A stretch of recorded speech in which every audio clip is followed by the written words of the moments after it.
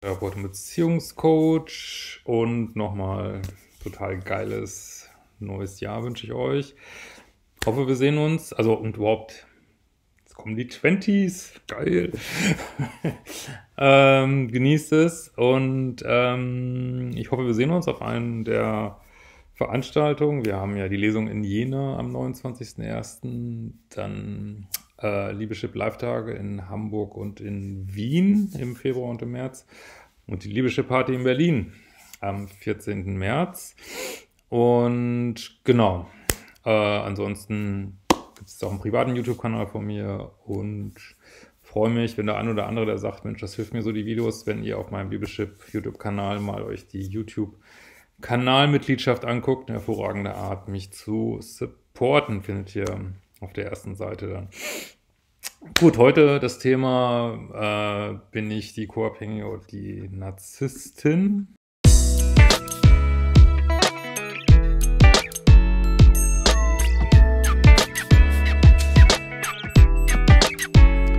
Wenn du mir auch solche Fragen schicken willst, geht über ein Formular auf liebeschipp.de. Ähm, lieber Christian, vielen Dank für deine super Videos zu dem Thema Beziehung. Es fühlt sich an, als würdest du als guter Freund eine ehrliche und verständliche und wohlwollende Sprache sprechen. Danke, dass du mit mir Silvester gefeiert hast. Ich erlebe gerade zum zweiten Mal eine Trennung äh, mit meinem frischen Ex-Freund. Äh, wir sind in den 40ern, sind ein paar Jahre zusammen. Äh, kennengelernt haben wir uns als wir betrunken waren. Ja, gut. Das ist vielleicht nicht so optimal, aber äh, es geht sicherlich vielen so. Äh, es ja, ist halt wie es ist. Ähm, Fernbeziehung, es ging sehr schnell und ich habe das Gefühl, überrollt worden zu sein. Ja, das ist ja am Anfang häufig dann, ne? dieses schnelle, was man erstmal gar nicht so mit Bindungsangst, Egozentrik oder so in Verbindung bringt. Ähm, sehnte mich jedoch nach einer Beziehung und einem Weiterkommen im Leben. So, er spricht so ein bisschen über seine Kindheit und sagt, er wäre eigentlich ein lieber Mensch, aber ja, muss, man muss Leute immer nach dem Verhalten beurteilen, dass wir irgendwo alle ein Licht in uns haben. Ja, das mag sein, aber das heißt ja nicht, dass man unbedingt in einer Beziehung sein muss, ne, mit Menschen, die einem nicht gut tun oder einem schaden auch wirklich.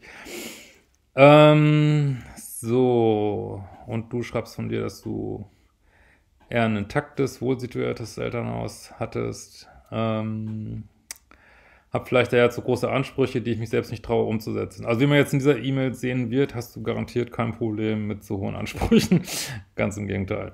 Ähm, aber es kann ja jeder von euch selber schauen. Ich sehe mich ja als High-Performance-Coach, was Beziehungen angeht. Da kann natürlich jeder kann sein Level setzen, wo er will. Ähm, muss jeder selber gucken. Ne? Zu Beginn waren wir oft zusammen feiern und es war sehr liebevoll. Äh, wir hatten aber gleich so ein Problem, dass er oft so vor Social Media festgesessen hat abends. Dann wollten wir ein Kind, wollten wir es ja auch so nach drei Jahren bekommen haben. Er wurde desinteressiert, hatte kein Geld und ich wurde angemerkt, dass ich nicht koche, obwohl er jetzt zu Hause war. Ja, also was, was ich jetzt hier ausspinnt, ist wieder diese Egozentrik, wie auch immer man das jetzt nennt. Ich nenne es einfach mal Egozentrik. Äh, Ich-Bezogenheit, ähm, wenig Empathie, ähm, eigenen Vorteil suchen, aufs Ticket von jemand anders leben, was, was ja so immer wieder in sich in E-Mails hier zeigt. Ne? Ähm, wir hatten auch keine sexuelle Beziehung. Ja, also was man jetzt hier wieder sieht, ist dieses Krümelige. Ne? Also er macht nichts, verdient scheinbar auch kein Geld, du musst dich ums Kind kümmern und dann auch noch kein Sex. Ja, das sind so die Momente, wo man sich fragt, warum macht man das? Ne? Gut, jetzt ist natürlich mit dem Kind ist immer, bleibt man natürlich dann wahrscheinlicherweise auch noch mal viel länger drin. Naja, aber eigentlich ändert das nichts an der Thematik. Ne? Ich verlangte von ihm, dass er Geld sparen sollte. Ähm, so. Äh, und du hast noch ein paar andere Standards gesetzt, verständliche. Er hat vieles versprochen, aber wenig gehalten. Nur auf Drängen, das ist mein Problem. Ich habe einen, äh, aus meiner Sicht einen Loser ausgesucht, den ich verändern möchte, weil ich mich an starke Männer nicht herantraue, Fragezeichen. Ähm, ja, auf jeden Fall, ob er jetzt ein Loser ist oder nicht, das sind ja alles so Begriffe, aber äh, also jeder ist da, wo er gerade steht, ne? Ähm, und das sollte man vielleicht auch nicht allgemein bewerten, aber man kann es für sich bewerten, ob du das möchtest, ne? mit so jemandem zusammen sein und ja, kann, und sicherlich hast du ein Thema, was ja wirklich einen Großteil hier hat, mit diesem retten wollen, therapieren wollen, äh, verändern wollen. Das ist ja schon dieses Pluspol-Drama, ähm, das ganze, ja, co-abhängige Thema, mangelnde Selbstliebe, wo auch immer du das jetzt her hast. Ähm, ähm, aber ja, also hört auf, Blumensamen zu kaufen, sondern kauft euch lieber einen fertigen Blumenstrauß, ne? Vertun, also es ist menschlich und, und irren und auch nochmal irren und nochmal irren. Also wir sind Menschen, wir sind fehlbar, wir sind absolut fehlbar, jeder ist fehlbar, ich bin fehlbar. Und ähm, ja, dann äh, lernt man daraus und versucht immer das Beste draus zu machen, macht dann wieder den nächsten Schritt, ne? So ist der Prozess, ne? Er sagt auch immer, mach doch erstmal selbst. Ja, aber du machst ja selbst. Ne? Äh, ich bin leider immer weniger aktiv geworden und auch kein gutes Vorbild mehr. Okay, aber ich habe schon den Eindruck, dass du ja mehr machst als er. Ne? Wenn ich einen Fehltritt hatte, wurde es mein Verhängnis. Habe ich das auch mit ihm gemacht? Fragezeichen. Ja, das ist ja immer das Interessante, dass im Minuspol sich die Leute überhaupt nicht in Frage stellen und im Pluspol immer zu sehr. Ne? Ja, hört sich für mich hier auch so an. Wer hat angefangen zu kritisieren? Ich weiß es nicht mehr. Wir machten eine Paartherapie. Ich beschrieb, dass ich mich nicht frei fühle, worauf nicht näher eingegangen wurde. Ja, eine gute Paartherapie zu finden bei solchen Themen wie diesem hier ist vielleicht auch nicht immer so ganz leicht. Ne? Ich beschrieb, dass ich mich nicht frei, also ja, äh, zu der Zeit war die Beziehung aber eigentlich ganz gut. Dann gab es Vertrauensbrüche, er schaute heimlich auf mein Konto und, und meinte, ich soll mich nicht beschweren, dass er kein Geld hat, ich hätte doch genug. Also das ist so ein krasser Dealbreaker. Also ist das erste jetzt hier in dieser E-Mail, was völlig indiskutabel ist. Also auf so vielen Ebenen völlig indiskutabel. Also auf dein Konto zu gucken, so einen Spruch zu bringen und und äh, ja, das ist halt häufig in diesen toxischen Beziehungen, dass einer auf das Ticket vom anderen leben will. Ne? Sehr toxisch. Ne? Ähm, er hatte einige Schulden, die er mir verheimlichte. an denen ich mit meiner Gier schuld sei, Fragezeichen. Er ging oft ohne Kompromisse, Absprachen feiern. Ja gut, ich meine, wenn Mail mal selber durchliest, ich meine, ganz ehrlich. Äh, ja. Ähm,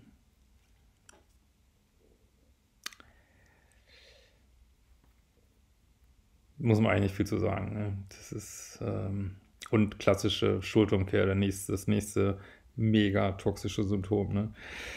Also, dass ich manchmal versucht habe, vehement zu protestieren. Ich ging dann nachts um den Block, äh, denn ich wusste ja, wenn ich wiederkomme, geht er feiern. Ja, das ist natürlich nicht so toll. Wir haben uns dann irgendwann getrennt. Äh, nach einem Jahr sind wir wieder zusammengekommen. Wir waren in der getrennten Zeit gut zueinander. Ähm, so aus irgendwelchen praktischen Gründen ist er wieder eingezogen. Nichts von den Standards, die wir besprochen haben, vom Einzug hat er gehalten. Auch das ist immer, äh, ist ja in meinem Modul 1 um Programmierungsleaderships ausführlich Thema. Äh, wie kannst du rausfinden, ob du in einer toxischen Beziehung bist? Ja, du setzt Standards, ne? Und wenn die da nicht gehalten werden und es wirklich völlig normale Sachen sind, ja. Ähm, so, ein knappes Jahr später waren die Probleme wieder da. Ja, so eine zweite Runde ist in aller, aller Regel nicht sinnvoll, so, ne? Es sei denn, hat sich mal eine Woche irgendwie im Streit, geht man mal auseinander oder so. Aber sowas hat sich ja nichts geändert. Ne? Ich drang ihn zur Therapie, der jetzt auch macht. Ja, aber du kannst jemand nicht dazu drängen, dass er bestimmte Einsichten hat. Also jemand kann auch in einer Therapiestunde sitzen und die Zeit absitzen und dann sagen, hier, was willst du da? Ich mache doch Therapie. Also haltet euch nicht an diesen, haltet euch nur an Fakten. Fakten, Fakten, Fakten, Fakten, Fakten. Und nicht auch wenn jemand Therapie macht, also verändert sich was in Echtzeit, jetzt und hier. Das sind die Fragen. Ne? Leider war es für mich schon zu spät, ich bin völlig erschöpft, ich habe mich wieder getrennt, jetzt kamen die krassen Fehltritte. Er machte mich in der Öffentlichkeit so nieder, beschimpfte mich, dass ich nur noch heulen konnte und am Boden war. Gut, jetzt äh, werden hier schlimme Schimpfwörter genannt, die ich nicht wiederholen kann. Übrigens sind in seinen Augen diese wirklich schlimmen Schimpfwörter keine schlimmen Schimpfwörter und er hätte es nicht so gemeint, es war ja im Streit.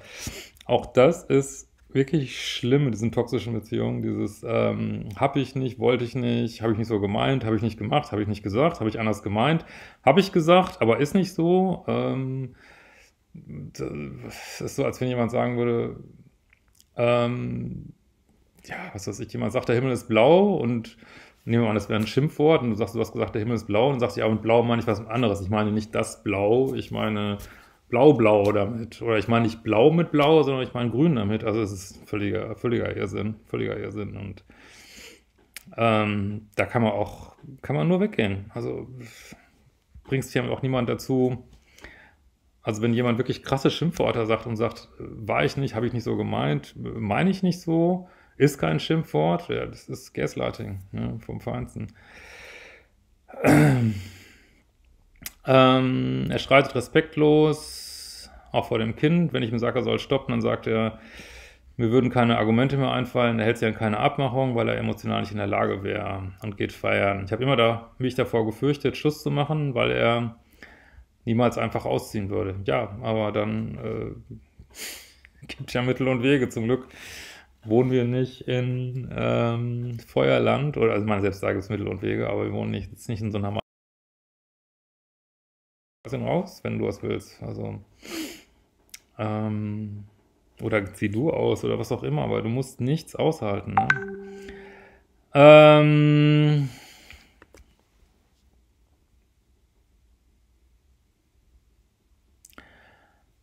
wohnen in einer Stadt, wo es wenig freie Wohnungen gibt. Es gibt immer Möglichkeiten, also ähm, werden sicherlich Leute wieder kommentieren, was es alles für Möglichkeiten gibt hier unter dem Video und äh, richte es nicht selber ein, dass es keine Möglichkeiten gibt. Er hatte eigentlich übergangsweise etwas gefunden, jetzt sagt er mir, dass der andere, mm, dass der andere, wo er wohnen wollte, dass es doch nicht geht. Ja, das ist, das ist alles, meiner Ansicht nach ist es alles Quatsch, Gaslighting und, und der will mit mir als WG zusammen wohnen, ja, in deiner Wohnung mit anderen Frauen schlafen oder was, ey. Oh mein Gott, ey. Er kriegt mich immer mit den Sätzen wie, dass eine Trennung wäre das Schlimmste für unser Kind. Ja, willst du deinem Kind vorleben, in einer benutzenden, toxischen, äh, lieblosen Beziehung zu leben? Aber ich meine, das muss jeder für euch entscheiden. Ich kann, ich kann das für niemanden entscheiden und will ich auch gar nicht. Aber die Frage muss man sich dann immer stellen. Ne? Ähm, ich habe ihn gedrängt, dass wir ja doch viel besprochen äh, jetzt bald den Umzug vollziehen soll. Jetzt droht er mir, er hätte ja, äh, gut, kommen ein paar vertragliche Sachen. Ja, da musst du dir halt gegebenenfalls da die Hilfe holen, die du brauchst, aber es wird sicherlich eine Lösung geben. Ne? Äh, er bettelt, dass er sich nun auch mit Hilfe seiner Therapie jetzt wirklich verbessert hat. Ja, aber das sage ich ja. Wo, wo, siehst du das hier in dieser Mail? Das ist, weiß ich nicht, er kann auch wirklich jeden Tag acht Stunden zur Therapie gehen, wenn er das absitzt und bringt es gar nichts, ne? Ähm, und du kannst immer nur auf deine Seite gucken, deswegen sage ich immer, haltet euch nicht auf, was jemand für eine Kindheit hat und ob er Therapie macht oder nicht Therapie macht, haltet euch an die Fakten, tut euch das gut, was passiert, weil ihr könnt nie letztlich in jemand anders reingucken, ihr könnt nur sagen, aha, ich sehe dieses und jenes Verhalten, ich finde es respektlos, ich für mich finde es respektlos, ich für mich finde es nicht gut, ich für mich finde es nicht akzeptabel und darauf handelt. Es ist ähm, letztlich wirklich egal, was jemand macht oder sagt oder selbst was für ein Label ihr da dran packt, äh, spielt keine Rolle. Ne? Äh, er sagt jetzt, dass er sein Leben verändern will, ja, aber das die Spur, die Schleife hatte ich hier doch schon mal, ne? Äh, und er weiß, dass es gut für ihn selbst ist. Ja, das ist alles hohle Worte. Ich bin eigentlich selbstbewusst und hatte bisher größtenteils ehrliche Beziehungen. Er war ja auch zu Beginn ehrlich. Habe ich ihn zu viel verbiegen wollen? Ähm, ja, denk schon. Ne? Aber du wusstest ja, dass es nur zwei Möglichkeiten gibt. Entweder du kriegst ihn verbogen oder du musst dir eingestehen, dass die Beziehung dir nicht gut tut. Ne? Und ähm, jetzt hast du das verbiegen wollen hinter dir und jetzt denke ich, ja, kommst du darauf hin, wie es halt ist. Ne? Ich war schon immer etwas aufmüpfig, aber in der letzten Zeit halte ich nur noch still und hoffe, dass nichts eskaliert. Das ist ein ganz schlechte, also ich kann das nicht empfehlen. Das muss jeder für euch wissen. Ich, das ist so ein E-Mail ist ja auch immer nur so ein Abklatsch, wie es wirklich ist, aber äh, natürlich äh, sollte man da mit Bedacht vorgehen, aber du solltest dich jetzt auch nicht äh, hier irgendwie klein machen lassen, so, ne? Also, und, äh, weiß ich nicht, stillhalten ist schon eher co-abhängige Variante, ne? Bin ich co-abhängig und Narzisst und er auch. Also wie gesagt, ich kann ja niemand über die Ferne, werde ich auch nie tun, diagnostizieren. Äh, spielt auch gar keine Rolle, aber dass du hier, ja, wie ich das immer so nenne, co-abhängige Tendenzen hast, ähm, oder dass es so Verhaltensweisen, Verhaltensmuster zeigen in dieser Richtung, ja, sieht so aus, äh, wie auch immer man das jetzt nennt. Also, wo du jetzt hier narzisstisch sein solltest, sehe ich jetzt nicht, aber äh, wie gesagt, das sind ja Sachen, die kann man natürlich auch logischerweise, soll man nicht, kann man nicht über die Ferne. Ähm, aber was auch da ist gut, auf der Verhaltensebene zu bleiben. Also deine Ziele, du hast sicherlich ein Thema mit äh, Selbstliebe und Grenzen und das wird hier halt getestet, ne? wie auch immer du das jetzt nennst. Ich verstehe nur noch Bahnhof. Je nachdem, welches Video ich sehe, passen wir beide jeweils auf beide Rollen. Ich glaube, das musste, glaube ich, nochmal die Videos vielleicht nochmal äh, unter anderen Aspekten angucken oder die Kurse machen. Ähm, also vor allen Dingen solltest du mal angucken, das Video, die drei Arten von Co-Abhängigkeit oder auch im Modul 4 ist das auch drin. Ähm, weil natürlich äh, sind auch egozentrische Menschen haben auch eine Art von Co-Abhängigkeit, aber dieser, also das wäre dann aber ein anderer Modus. Also du hast hier diesen typischen Modus 1, wie ich das immer sage, so einen eher liebessüchtigen. Und dann gibt es noch Modus 2, Modus 3 ist in dem Video drin. Und ähm, ja, das ist eher vielleicht im anderen Modus, vermute ich mal. Und ähm, Aber wo ihr da jetzt beide in alle Rollen reinpasst, das sehe ich hier gerade nicht. Ähm, ich bin sehr interessiert an deiner Meinung. Ich denke, ich kann das allein mit dem Kind vielleicht nicht schaffen. Ja, da kann ich jetzt nichts zu sagen, aber wie gesagt, mit Kindern ist es auch immer schwierig. Ähm, aber ich meine, ähm, meine, ich denke, in Deutschland sollte das eigentlich irgendwie immer möglich sein, aber wie gesagt, äh, merke jetzt schon, dass ich mich sozial isoliere, um diese Schmach des alleinerziehenden Status nicht erleben zu müssen. Aha, hier, wo ist denn da die Schmach, ey? Wie viele Leute sind alleinerziehend und getrennt und willst du, willst du die Schmach in einer, Tox in einer toxischen Beziehung sein, lieber erleben? Oder willst du dich mal vielleicht nicht diese gesellschaftlichen Dinge hinter dir lassen und gucken, was dir gut tut. Ne? Äh, ganz liebe Grüße und einen guten Start ins neue Jahr. Mach weiter so, du erreichst damit so viele, das ist die perfekte Plattform. Ja, ist auch ähm, perfekt und gleichzeitig auch echt manchmal gruselig, das ganze Social Media. Ähm, so wird es einen Workshop im Jahr 2020 geben in meiner Großstadt. Ja, also äh, es gibt auf jeden Fall die Liebeschip Party in Berlin und es wird auch ähm, Workshops geben. Wir gucken gerade so ein bisschen, wie das so mit diesen Liebeschip Live-Tagen. Ähm, könnt ihr auch gerne mal drüber kommentieren, wenn ihr sowas, das wäre ja so das Format, was da im Moment angedacht ist, wenn du das vorstellen könntest, dass du da in deiner Stadt, also sag jetzt auch an die Zuschauer, da hingehen würdest, kommentier das gerne unter dem Video. Ähm, und ähm, ja, genau. Ja. Und ansonsten gucke ich gerade so ein bisschen mal die Lesungen und ähm, Bootcamps hatte ich jetzt den Eindruck, was für manche vielleicht ein bisschen viel war. Ähm, und jetzt gucken wir halt so ein bisschen, was da so passt. Aber wenn du eine Idee hast, auch du Zuschauer, was du gerne an Workshops hättest, schreib es ruhig mal drunter, aber mir fehlt da manchmal auch echt Feedback oder schreib an support.liebeschip.de. Ja, in diesem Sinne, wir werden uns bald wiedersehen.